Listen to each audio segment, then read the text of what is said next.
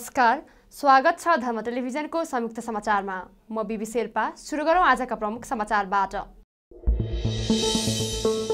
नेपालमा शुक्रबार थप दुई हजार चार सय छिहत्तरजनामा कोरोना सङ्क्रमण पुष्टि थप सत्ताइसजनाको मृत्यु। सरकार बचाउनका लागि आफूले कसैसँग अनुचित सम्झौता नगरेको प्रधानमन्त्री केपी शर्मा ओलीको स्पष्ट। प्रधानमन्त्री केपी शर्मा ओलीले सिन्धुपाल्चोक जिल्लामा हालैको प्राकृतिक विपदको व्यवस्थापन तथा राहत कार्यलाई तत्काल प्रभावकारी रूपमा अघि बढाउन सम्बद्ध निकायलाई निर्देशन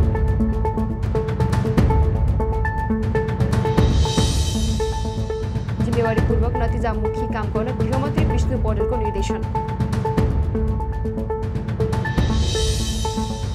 कोरोनाको सम्भावित तेस्रो लहरको जोखिम न्यूनीकरणका लागि तयारी अवस्थामा रहन स्वास्थ्य तथा जनसङ्ख्या मन्त्री कृष्ण गोपाल श्रेष्ठको निर्देशन। अब समाचार विस्तारमा। नेपालमा शुक्रबार थप दुई हजार चार सय छिहत्तरजनामा कोरोना सङ्क्रमण पुष्टि भएको छ। देशभर गरिएको नौ हजार पाँच सय छयासी पिसिआर परीक्षणका क्रममा एक हजार सात सय एक्काइस र चार हजार सात सय पैँसठी एन्टिजेन परीक्षणका क्रममा सात सय पचपन्नजनामा कोरोना पुष्टि भएको हो। योसँगै नेपालमा कोरोना सङ्क्रमितको सङ्ख्या छ लाख एकसठी हजार आठ सय एकचालिस पुगेको छ। त्यस्तै कोरोनाका कारण थप सत्ताइसजनाको मृत्यु भएको छ। हालसम्म नेपालमा कोरोनाका कारण आठ हजार नौ सय पैँतालिसजनाको मृत्यु भएको स्वास्थ्य मन्त्रालयले जानकारी दिएको छ। त्यस्तै थप पाँच हजार चार सय पचपन्नजना कोरोना मुक्त हुँदा हालसम्म नेपालमा पाँच लाख छयत्तर हजार चार सय तेह्रजना कोरोना मुक्त भएका छन्। हाल नेपालमा पैँतालिस हजार सात सय चौरानब्बे सक्रिय सङ्क्रमित आइसोलेसन र तिन सय त्रिहत्तरजना क्वारेन्टाइनमा छन्। हालसम्म नेपालमा तेत्तिस लाख बाह्र हजार तिन सय पैँतिसवटा पिसिआर र एक लाख छैसठी हजार तिन सय सातवटा एन्टिजेन परीक्षण भएको मन्त्रालयले जनाएको छ। प्रधानमन्त्री केपी शर्मा ओलीले सरकार बचाउनको लागि आफूले कसैसँग अनुचित सम्झौता नगरेको स्पष्ट पार्नु भएको छ। परराष्ट्र मामिला अध्ययन प्रतिष्ठानले शुक्रबार बालाटारमा आयोजना गरेको पुस्तक लोकार्पणमा प्रधानमन्त्री ओलीले लोकतन्त्र र संविधानमा विरुद्धको कदमको मात्र विरोध गरेको भन्दै सरकार बचाउनको लागि आफूले कसैसँग अनुचित सम्झौता नगरेको स्पष्ट पार्नु भएको हो। नेपालका केही पूर्व प्रधानमन्त्रीहरू आफूलाई देशभक्त हु भनेर हिँड्ने तर विदेशी हस्तक्षेपलाई खुलेआम आमन्त्रण गर्ने गरेको उहाँको आरोप थियो। उहाँले पोलिसी मेन्टेनमा हात हाल्नुहोस् भनेर पूर्व प्रधानमन्त्रीले खुलेआम भन्ने गरेको जिकिर गर्नुभयो।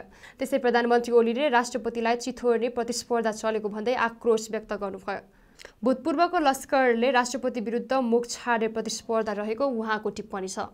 उहाँले राष्ट्रपतिलाई दिएको अधिकारमा सीमित रहेको भन्दै उहाँले गणतन्त्रप्रतिको भैरवाका कारण राष्ट्रपति विरुद्ध अनावश्यक टिका टिप्पणी भएको हुन सक्ने बताउनुभयो। राजनीतिलाई सांसद र जनता माझ नलगेर अदालतमा लाने प्रवृत्तिले राजनीतिकलाई बिगाडिरहेको उहाँले बताउनुभयो। प्रधानमन्त्री ओलीले अदालतको निर्णय एक दिन अघि नै बाहिर आउने कुराले अदालतभित्र पनि सेटिङ भएको हुन सक्ने सङ्केत गर्नुभयो। प्रधानमन्त्री ओलीले नेपालको नयाँ नक्सालाई कसैले पनि मेटाउन नसक्ने धारणा राख्नुभयो। उहाँले छिमेकी राष्ट्रसँग नेपालले समान व्यवहार गर्ने उल्लेख गर्नुभयो। यो माइक्रो म्यानेजमेन्टमा लाग्न हुँदैन। तपाईँहरू म्या माइक्रो म्यानेजमेन्टमा नलाग्नुहोस्। नेपालको सन्दर्भमा तपाईँहरूको माइक्रो म्यानेजमेन्टमा होइन। ठुला कुरामा हात हाल्नुहोस् न। पोलिसी मेटरमा हात हाल्नुहोस् न। ठुला कुरामा हात हाल्नुहोस् न। त्यो जथाभावी किन हुन दिइराख्नुभएको छ तपाईँहरू? उहाँको भनाइ। मलाई आश्चर्य तैपनि आफूलाई देशभक्तै हुँ भनेर हिँडिरहेका छन्। माइक्रो म्यानेजमेन्टमा चाहिँ हात नहाल्नुहोस् ठुला कुरामा हात हाल्नुहोस् पोलिसी मेटरमा हात हाल्नुहोस्। अर्को पूर्व प्रधानमन्त्रीजी खुलेआम भन्छ के हेरेका होलान् हाम्रा लोकतान्त्रिक छिमेकीहरूले मित्रहरूले यस्तो हुँदाखेरि पनि के हेरेका होला भने के के चाहिँ गरिदिनु पर्ने। उहाँले के हेरे होला अचम्मै लाग्छ मलाई भनेर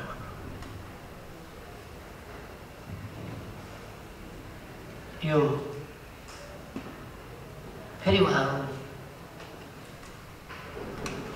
फलानाको देशभक्ति भनेको चाहिँ नक्कली देशभक्ति हो आडम्बरी देशभक्ति हो यहाँ हो त्यहाँ हो उहाँहरूले महन्त ठाकुरजीलाई प्रधानमन्त्री बनिदिनुहोस् भन्दाखेरि सही हुन्छ उहाँहरूले लखेटेका बेला मैले लखेट्न नसक्ने स्थितिमा महन्तजीहरूलाई साथ लिएँ भने मैले उहाँलाई लिड गरिदिनुहोस् हामीलाई भनेको छैन म तपाईँको पोलिसीका पछाडि जान्छु भनेको छैन। अर्को कुरो उहाँहरूसँग कुनै एग्रिमेन्ट पनि गरेका छैन। र मैले डेमोक्रेसीका विरुद्ध संविधानका विरुद्ध नेपालमा जस्तो अराजकता ल्याउन खोजिएको छ त्यसको विरुद्ध उहाँहरूको साथले त्यो चाहिँ एकदम हुन हुनामी के के भइहाल्यो। मन्त्रीजीलाई प्रधानमन्त्री हुनुहोस् भनेर डबलीमा बुद्धिजीवीहरू साक्षी राखेर भने होइन टेलिभिजनमा खिचाएको होइन प्रधानमन्त्री भइदिनुहोस्।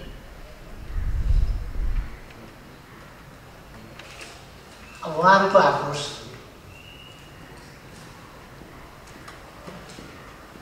मैले एकपल्ट भनेको थिएँ रिसाएको बिरालोले हुन्छ अहिले राष्ट्रपतिलाई चिथोर्ने कम्पिटिसन चलिरहेको छ जसले राष्ट्रपतिलाई गाली गर्न सक्यो मुख छाड्न सक्यो त्यो ठुलो हुने कम्पिटिसन चलिरहेको छ हिजो पनि केही भूतपूर्वहरूको लस्करले प्रेस मिट द प्रेस गरेर देखेको थिएँ मैले। त्यसमा पनि राष्ट्रपतिमाथि राष्ट्रपतिभन्दा राजै राम्रो भन्नेसम्म उहाँहरू पुग्नुभयो। खै कति बेर के बोल्ने? र फेरि लोकतन्त्रका दुहाई दिने। राष्ट्रपतिले हामीले जे अधिकार दिएका छौँ राष्ट्रपति त्यसमा सीमित हुनुहुन्छ त्यसमा सीमित हुनुपर्छ। तर उहाँहरूको सम्बन्धमा मलाई धेरै केही भन्नु छैन। यो आफ्नो आफ्नो कल्चरल लेभलको पनि कुरा होला। तर अर्को कुरा के भने यो गणतन्त्रप्रतिको गैरभाव पनि होला भित्री।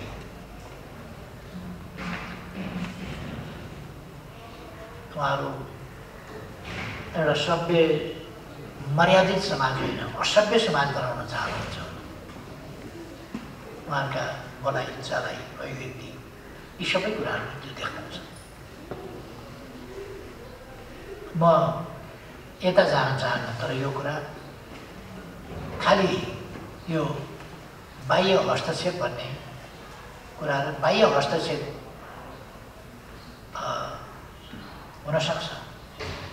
हुने गरेका छ राजनीतिलाई राजनीतिभन्दा राजनीति गर्ने थलो जनतामा पनि राजनीति जान नदिने पार्लियामेन्टमा पनि राजनीतिको टुङ्गो नगर्ने राजनीति अन्तै लगेर टुङ्गो गर्ने राजनीतिको फैसला प्रधानमन्त्री छान्ने ठाउँ पनि अदालतलाई बनाउन खोजेपछि। अनि राजनीतिक विषयहरूको टुङ्गो राजनीतिक संस्थाहरूले वा राजनैतिक पार्टीहरूले लगाउनु पर्ने ठाउँमा अदालतबाट राजनीतिको फैसला खोजेपछि अदालतले त संविधान र कानुनको कुरा गर्ने हो राजनीतिक होइन अब अदालतबाट त्यो निरूपण गर्न अहिले त एकछिन मजा आउँला। मन्त्रीहरू सब हटाइदिएर प्रधानमन्त्रीलाई काम गर्न अप्ठ्यारो भयो खुच्चिङ पऱ्यो। कसैले अघिल्लै दिन घोषणा गरेका थिए कसरी गर्यो त्यो पनि एउटा गजबको छ धादिङमा अघिल्लै दिन भने नियुक्त गरिएका पछि नियुक्त गरिएका मन्त्रीहरू भोलि अदालतले हटाउँदैछ भन्ने सूचना मैले पाएको छु। अथवा न्याय निष्पक्ष निरूपण भयो कि अरू नै हिसाबले एउटा हल्ला चर्चा छ नि सेटिङ सेटिङ भन्ने शब्द खुब चल्छ। नत्र भोलिपल्ट कुखुरो हराउनु छ भने अघिल्लै दिन धादिङमा स्याउ गरायो कसरी त्यो हो त। एउटा गम्भीर प्रश्न चाहिँ यस्तो कुरामा हामीहरू एकछिनका लागि खुसी वा दुःखी हुने कुरा होइन। प्रणालीप्रति चिन्तित र सजग हुनुपर्ने कुरा। यो यो प्रणाली। प्रणालीप्रति हाम्रो सजगता आवश्यक छ। हामीले प्रणालीहरू सधैँ अग्नि परीक्षामै हुन्छन् तिनले प्रणालीले परिणामबाट आफ्नो सहीपना र श्रेष्ठता साबित गर्नै पर्छ। त्यो हो। तर प्रणालीलाई कार्यान्वयनमै जान नदिकन कार्यान्वयनको प्रारम्भै हुन नदिकन फेरि भत्काउनेतिर लाग्नु यो खतरनाक विषय हो। नेपालको भूभाग समेटेर छापिएको नक्सा जसलाई आजकल प्रचलित भाषामा चुचे नक्सा भन्ने गरेका छन् अब चुचे नक्सालाई कसैले पनि मेटाउन सक्दैन कसैले मेटाउन सक्दैन त्यसै गरी नेपालले जुन फरेन पोलिसीलाई चुचे नक्सा जस्तै ठोस आकार दिएको छ त्यसलाई पनि मेटाउन कसैले सक्दैन किन यो एक उचाइ उठिसकेको छ यो सिस्टमेटाइज भइसकेको छ यो लयबद्ध भइसकेको छ यो छरपष्ट कता जाउँ कसो गरौँ? यो यस विषयमा के यस विषयमा के भन्ने कुरा होइन। यसको एउटा लय छ। एउटा लयमा फरेन पोलिसी अगाडि बढिसकेको छ। कार्यक्रममा प्रधानमन्त्री ओलीले परराष्ट्र मामिला अध्ययन प्रतिष्ठानद्वारा सम्पादित एवं प्रकाशित पुस्तकहरूको लोकार्पण गर्नुभएको थियो। त्यस्तै पूर्व परराष्ट्र मन्त्री प्रदीप कुमार ग्यावालीको तीन वर्ष कार्यकालमा सरकारको तर्फबाट अन्तर्राष्ट्रिय मञ्चमा गरिएको सम्बोधन समितिको पुस्तक पनि सार्वजनिक गरिएको थियो। प्रधानमन्त्री केपी शर्मा ओलीले सिन्धुपाल्चोक जिल्लामा हालैको प्राकृतिक विपदको व्यवस्थापन तथा राहत कार्यलाई तत्काल प्रभावकारी रूपमा अघि बढाउन सम्बद्ध निकायलाई निर्देशन दिनुभएको छ। प्रधानमन्त्री निवास बालाटारमा एमाले बागमती प्रदेश सङ्गठन कमिटीका अध्यक्ष आनन्द प्रसाद पोखरेल इन्चार्ज रामबहादुर थापासहितको टोलीको ज्ञापन पत्र बुझ्दै प्रधानमन्त्री ओलीले विस्थापित परिवारको उचित व्यवस्थापन गर्न निर्देशन दिनुभएको हो। पुल बोगाएको स्थानमा बेली ब्रिजको व्यवस्था गर्ने कुरामा सरकारको ध्यान पुगेको पनि प्रधानमन्त्री ओलीले बताउनुभयो। उहाँले बाढीको पूर्व सूचना दिन साइजर राख्ने कटान रोक्न तारजारीको व्यवस्था गर्ने तथा पीडित परिवारलाई जस्ता एवं स्थानीय सामग्रीको प्रयोगबाट तत्काल अस्थायी आवासको व्यवस्था गर्नु समेत दिनुभयो। उहाँले विपदमा राजनीति गर्नेतर्फ नभई जनताको सेवामा जुट्नुपर्ने बताउनुभयो। उहाँले बाढीको पूर्व सूचना दिन साइरन राख्ने कटान रोक्न तारजारीको व्यवस्था गर्ने तथा पीडित परिवारलाई जस्ता एवं स्थानीय सामग्रीको प्रयोगबाट तत्काल अस्थायी आवासको व्यवस्था गर्नु समेत दिनुभयो। उहाँले विपदमा राजनीति गर्नेतर्फ नभई जनताको सेवामा जुट्नुपर्ने बताउनुभयो। खोलाले आफै समय समयमा बनाएका सन्थरभागहरू छन् नि ती चाहिँ खतरनाक हुने गर्छन्। जस्तो मैले चर्चा गरेपछि लामा बगर प्रकृतिले बनाएको त्यो असाधारण प्राकृतिक एउटा विपत्तिबाट भूकम्प वा पहिरो जस्ता कुनै कुराबाट चाहिँ त्यो भने हो। जो असाधारण घटना त्यहाँ भएको छ र त्यसपछि नै त्यो लामा बगर बन्यो र तामाकोसी चाहिँ जमिन मुनिबाट गयो। माथि पुग्यो तलबाट चाहिँ ढुङ्गा ढुङ्गा भयो।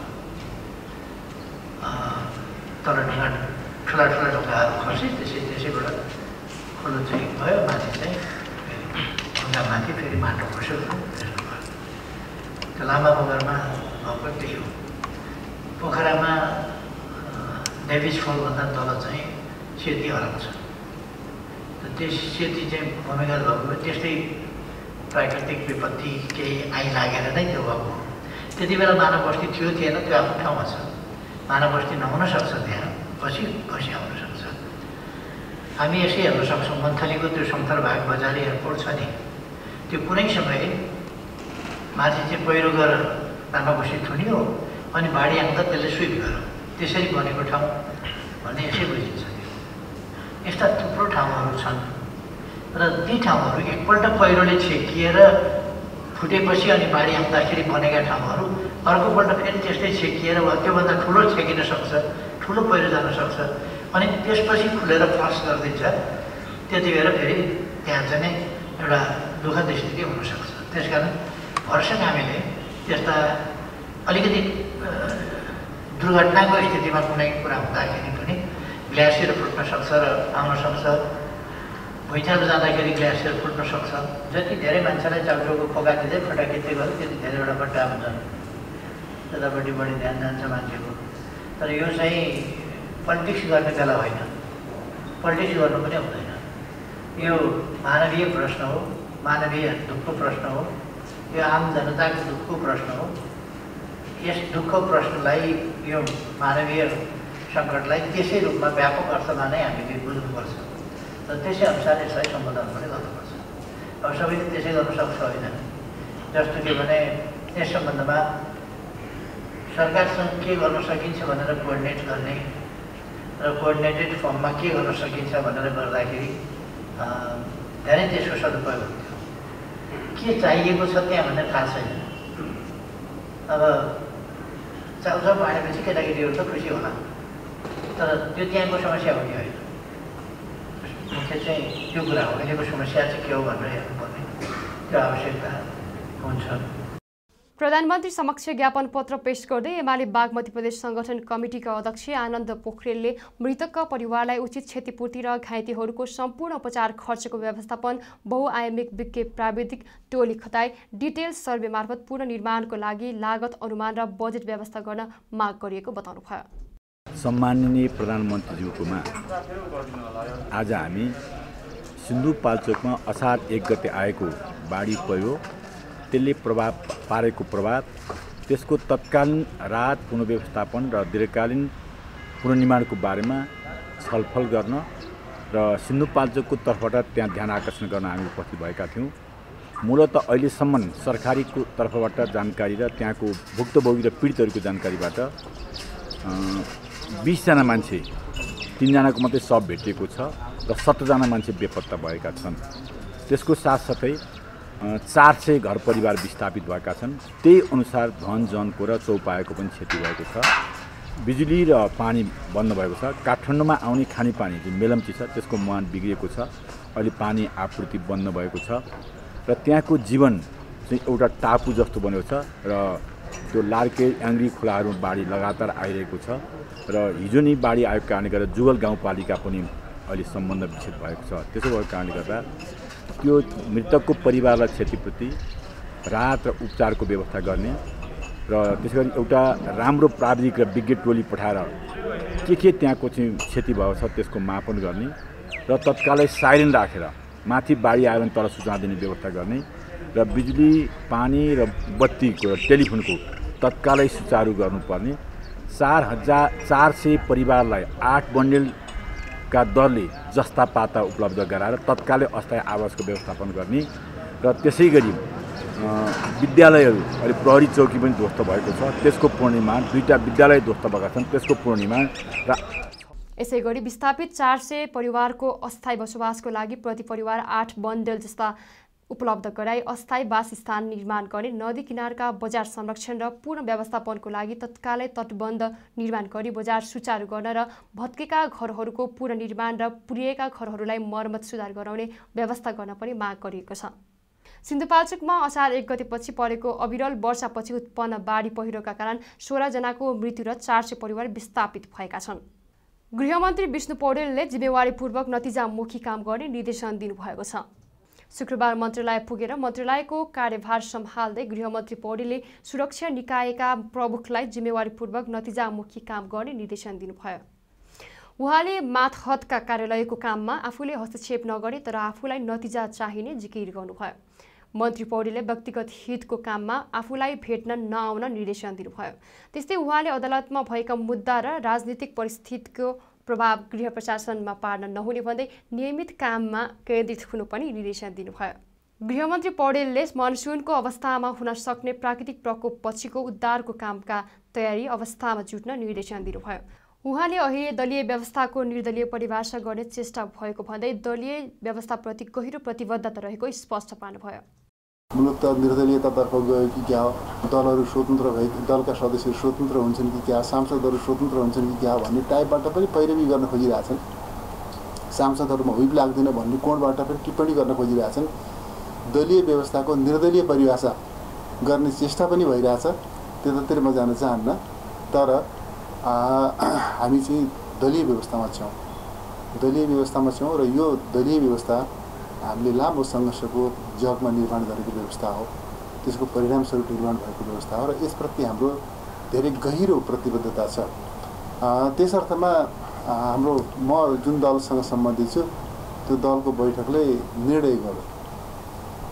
प्रधानमन्त्री झलनाथ खनाल हुनुहुन्थ्यो म पार्टीको अध्यक्ष पनि हुनुहुन्थ्यो। उहाँकै अध्यक्षतामा स्थायी कमिटीको बैठक बसेर स्थायी कमिटीले प्रधानमन्त्रीलाई सुझाव दियो। उहाँको उपस्थितिकै बैठकमा सुझाव थियो गृहमन्त्री विष्णु पौडेल भनेर अनि त्यसपछि म चाहिँ त्यो त्यो समाचार प्रकाशित भएर चाहिँ त्यो निर्णय भएको केही बेरमा अब त्यो छ्याप छ्याप्ती सबैतिर घरभरि त सुरक्षा गयो मान्छेहरू बाटाभरि अनि मलाई के लाग्यो भनेदेखि यो त यो त त्यो बिहोर्न त गाह्रो रहेछ कि क्या भन्ने लाग्यो मैले के भन्न खोजेको भनेदेखि खास गरी आइजी साहबहरूलाई म भन्न चाहन्छु म कहाँ एउटा पनि पुलिस नआओस् अन्याय भयो भनेर साँच्ची नै अन्यायको अनुभूति गरेर आउँछ भनेदेखि त्यो त्यो त्यो उजुरी सुन्नका निम्ति म तयार छु नभए प्रमोसनका निम्ति थमौतीका निम्ति बढुवाका निम्ति सरुवाका निम्ति अथवा चाहिँ के भन्छ स्वदेश पठाउन विदेश पठाउन यो अवसरका निम्ति त्यो अवसरका निम्ति कुनै एउटा पुलिसमा कहाँ नआओस् त्यसका निम्ति म यहाँलाई म सचिवलाई पनि म भन्न चाहन्छु आइजीका हैसियतमा उहाँहरूले गर्नुपर्ने काम प्रहरी सङ्गठनको प्रमुख हैसियतले गर्नुपर्ने कामका निम्ति उहाँहरू स्वतन्त्र हुनुहुन्छ। तपाईँको जिम्मेवारी मेरो जिम्मेवारी सहजीकरणको हो। हामीले गर्नुपर्ने निर्णय निर्देशनका निम्ति हामी जवाफदेही छौँ जिम्मेवार छौँ त्यसै ढङ्गले गर्छौँ नै। त्यसबाहेक यावत कामहरू यहाँहरूले गर्नुपर्दछ भन्ने म ठान्दछु। यो राजनीतिक परिस्थितिको प्रभाव चाहिँ गृह प्रशासनमा पर्न हुँदैन सुरक्षा निकायमा पर्न हुँदैन। त्यो राजनीतिक परिस्थिति त्यो अलग चिज हो। त्यो आफ्नो ढङ्गले चल्दै गर्छ। त्यसका आफ्नै के भनेदेखि विधि छन् त्यसका आफ्नै प्रक्रिया छन् त्यसका आफ्नै चाहिँ प्रभाव र परिणामहरू हुन्छन्। त्यसबाट यहाँहरू प्रभावित नहुनु होला। अदालतको मुद्दा राजनीतिक परिस्थितिका चाहिँ प्रभावहरू जस्ता चिजहरूबाट हाम्रो चाहिँ गृह प्रशासन सुरक्षा निकाय प्रभावित हुँदैन। यसले गर्नुपर्ने जुन नियमित कार्य सम्पादनको काम छ त्यसमा केन्द्रित भएर यहाँहरू लाग्नु होला। अँ, लगभग बर्खा मनसुन सुरु हुने हुने बेलामा यस्तो चाहिँ के भनेदेखि सोलीबाट पानी खनाए जस्तो स्थिति सृजना भयो खास खास ठाउँमा यस खालका समस्याहरू देखिएका छन्। यो आ मनसुनको त्यो चाहिँ आउने दिनमा कस्तो हुने यसको प्रभाव अझै यकिन गरेर भन्न सक्ने अवस्था छैन। त्यसले गर्दाखेरि दैनिक रूपमा हाम्रो चाहिँ गृह प्रशासनको आफ्नै प्रणाली छ।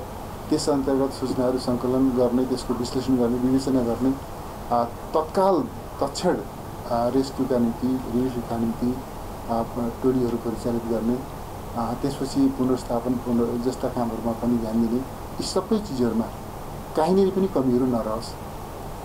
प्रशासनको तर्फबाट मन्त्रालयको तर्फबाट सुरक्षा निकायको तर्फबाट कमजोरी रहेको कारणले यो चिज हुन सक्थ्यो र यो भएन भन्ने खालको स्थिति सृजना नहोस्। प्रधानमन्त्री केपी शर्मा ओलीले मन्त्रीहरूको जिम्मेवारीमा हेरफेर गर्दै उप प्रधानमन्त्री समेत रहेका पौडेललाई गृहसहित अर्थ मन्त्रालय गृह मन्त्रालय उद्योग वाणिज्य तथा आपूर्ति र जलस्रोत तथा सिँचाइ गरी पाँच मन्त्रालयको जिम्मेवारी दिनुभएको थियो। स्वास्थ्य तथा जनसङ्ख्या मन्त्री कृष्ण गोपाल श्रेष्ठले कोरोनाको सम्भावित तेस्रो लहरको जोखिम न्यूनीकरणका लागि तयारी अवस्थामा रहन निर्देशन दिनुभएको छ। शुक्रबार स्वास्थ्य मन्त्रालय पुगेर जिम्मेवारी सम्हाल्दै मन्त्री श्रेष्ठले केही देशमा कोरोनाको तेस्रो लहरको सङ्केत देखा परेको भन्दै नेपालमा पनि सम्भावित तेस्रो लहरको जोखिम न्यूनीकरणका लागि तयारी अवस्थामा रहन सरकारवाला निकायलाई निर्देशन दिनुभएको हो। उहाँले तेस्रो लहरले बालबालिकामा जोखिम देखिन सक्ने भएकाले त्यसको पूर्व तयारी गर्नुपर्ने बताउनुभयो। उहाँले आफू काम र परिणाममा विश्वास गर्ने जिकिर गर्नुभयो। मन्त्री श्रेष्ठले नागरिकलाई खोप दिनुपर्ने अहिलेको ठुलो काम भएको भन्दै त्यसको लागि सरकार गम्भीर भएर अघि बढेको पनि जानकारी दिनुभयो। उहाँले कोभिड सङ्क्रमितको उपचारमा खटिएका स्वास्थ्यकर्मीलाई जोखिम भत्ताको लागि पहल गर्ने बताउनुभयो। स्वास्थ्य मन्त्रालयको लागि हामी अहिले अहिले आज हामीले चाहिने निर्णय गरेको मध्ये चाहिँ सम्भावित थर्ड फेजको चाहिँ नि सङ्क्रमणको सतर्कताको लागि थर्ड फेजमा बालबालिकाहरूलाई चाहिँ यसले बेसी प्रभाव पार्न सक्छ कि भन्ने विषयलाई लिएर स्वास्थ्य मन्त्रालयले यो जुन खालको चिन्ता व्यक्त गर्दै आज बालिकै क्रममा चाहिँ त्यही फाइललाई चाहिँ स्वीकृति गर्न पाउँदा मलाई गर्व पनि लागेको छ। हाम्रो स्वास्थ्य मन्त्रालय यो बारेमा चि एकदम चिन्तित भएर अहिलेदेखि हामी तयारीमा लागेको स्थिति छ।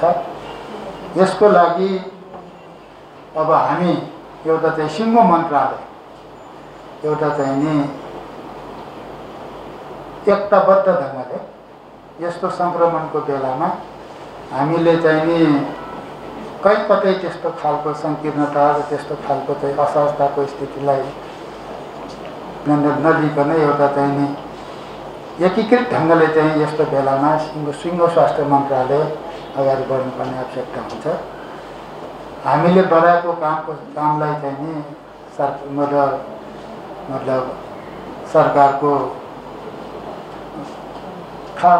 मतलब चाहिँ क्याबिनेटको तहबाट गर्नुपर्ने कुराहरू सरकारले सरकारको तर्फबाट गर्नुपर्ने निर्णयको कुरामा कुनै विलम्ब नआउने गरी यहाँहरूले चाहिँ आवश्यकता अनुसार अगाडि बढ्दाखेरि चाहिँ नि कुनै कामको सन्दर्भमा कुनै अप्ठ्यारो असहज स्थिति नहोस्। यो विशुद्ध प्राविधिक मन्त्रालय पनि भएको हुनाले म धेरै यसमा बुझ्दिनँ तपाईँहरूसँगै त्यता मतलब आवश्यक सरसल्लाह गरेर अगाडि बढ्ने नै छु। र चाहिँ नि यो मन्त्रालयको अगाडि आइरहेको यो चुनौती पनि कुरा आइसकेका छ। छ। यसमा के प्रधानमन्त्री केपी शर्मा ओलीको सिफारिसमा राष्ट्रपति विद्यादेवी भण्डारीले स्वास्थ्य मन्त्रालयको समेत जिम्मेवारी दिएपछि उहाँले शुक्रबार स्वास्थ्य मन्त्रालयमा पुगेर पद बहाली गर्नुभएको हो। मन्त्री श्रेष्ठलाई स्वास्थ्य मन्त्रालयसँगै वन तथा वातावरण युवा तथा खेलकुद शिक्षा विज्ञान तथा प्रविधि श्रम रोजगार तथा सामाजिक सुरक्षा मन्त्रालयको समेत जिम्मेवारी दिएको छ। उहाँले मागका बारेमा कुनै सुनवाई नभएको भन्दै राष्ट्र पुनर्निर्माण प्राधिकरणका कार्यरत प्राविधिकहरूले सामूहिक राजीनामा दिएका छन्। शुक्रबार राष्ट्रिय पुनर्निर्माण प्राधिकरण प्राविधिक राष्ट्रिय हकित संरक्षण समितिले प्रत्येक वर्ष दिने भनिएको अतिरिक्त सुविधाहरूबाट पूर्ण वञ्चित गराएको भन्दै बत्तीस जिल्लामा प्राविधिकहरूले सामूहिक राजीनामा दिएको जनाएको छ।